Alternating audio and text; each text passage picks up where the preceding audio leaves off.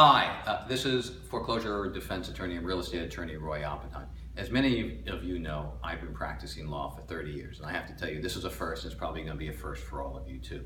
The United States government, through the U.S. Department of Treasury and a division called FinCEN, along with the FBI, announced that starting March 1st, they will be policing secret real estate sales that effectively do not disclose who the actual buyer of a real estate transaction is in Miami-Dade County as well as in New York City.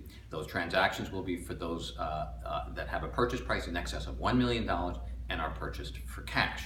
And the New York Times had done an analysis recently of various condominiums that get purchased uh, in New York City where in fact uh, these kinds of transactions occur regularly where one has no idea who the true purchaser is. And many of them are folks from overseas, international transactions. And indeed, some of them may be using illicit cash. And it is that cash that the uh, United States government, through the FBI and the Treasury, are going to try and be policing.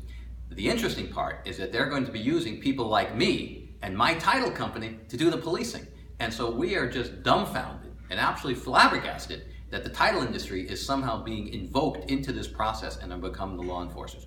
No one has ever deputized us to do this. No one has ever paid us to do this. And so this is going to be very interesting, and I will keep you abreast. Roy Oppenheim in the trenches. Thank you.